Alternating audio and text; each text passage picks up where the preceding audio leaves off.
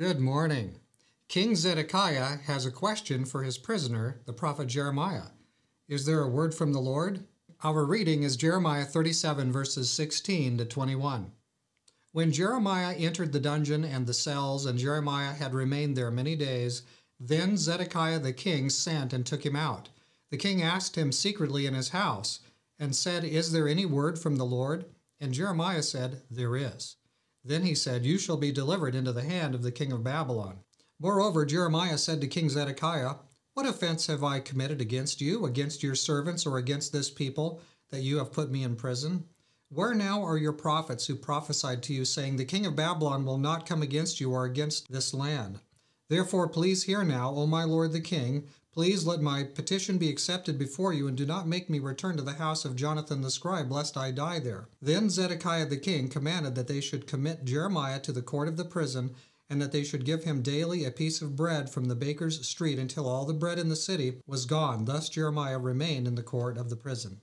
Jeremiah is imprisoned in harsh conditions. They're harsh enough that he's concerned that he might die while he's imprisoned and under those conditions. Then Zedekiah the king calls for him. Hey, is there any word from the Lord he wants to know? And Jeremiah says, Yes, there is. I'm sure Zedekiah was all ears there, but Jeremiah said, You will be delivered into the hand of the king of Babylon. That wasn't what Zedekiah wanted to hear. Not at all. Zedekiah was hoping that God had changed his mind. Zedekiah was hoping that something new and different was coming along. No, God was working the same plan that he'd been working with the kingdom of Judah all this time. Uh, God is the Lord. He doesn't change. When He has a plan to work to redeem His people, He's going to push on that plan. He's going to carry it through. Sometimes we have this idea that our prayers are to change God's mind, but actually, our prayers are to change our mind. We want to be in harmony with God's plan. And if we think that if we pray enough, God will change his mind, I think we have kind of a strange viewpoint about the way God is, is working. Now, Jeremiah asks the king, What has he done wrong? Why is he imprisoned in this harsh situation? And we see Zedekiah here at his uh, regular flip floppy best. So the king agrees to that and he gives him a food ration along with everybody else. He's going to get a piece of bread every day. Things are getting worse and worse in the city. The king doesn't have a lot to offer Jeremiah, but he's going to go ahead and lighten his prison situation and he's going to give him some food. So there's not a lot that Zedekiah can do. I mean, the city's under siege, strong siege, but he does a little bit for Jeremiah.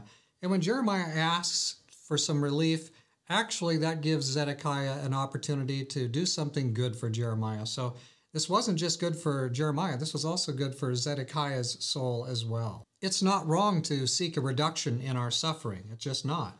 We can seek that, but if God chooses not to reduce it, then we should be learn to be content with that. God is on your side. He's not going to let you suffer to no purpose. He has a purpose in what he permits. So Zedekiah does Jeremiah some good, and so there's a little bit of mercy on his part and that's good for Zedekiah. Let's pray together. Dear Father in heaven, help us to be satisfied with your word. Help us to be willing to trust you, and you'll be with us in the different situations we're in. We know it's true. We know you're trustworthy. We've, we've learned it by experience. We've proven you, so to speak. Lord, uh, you are faithful. So help us to be faithful and true to you.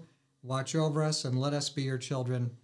Help us to know when we pray that we need our hearts to be changed. It's not about changing you or giving you some wisdom you are lacking. Not at all.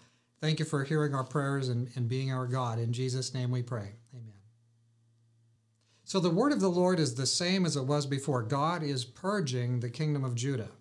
He's going to accomplish his purpose, and prayer is not to change God's heart, it's to change ours. God be with you today in all that you do.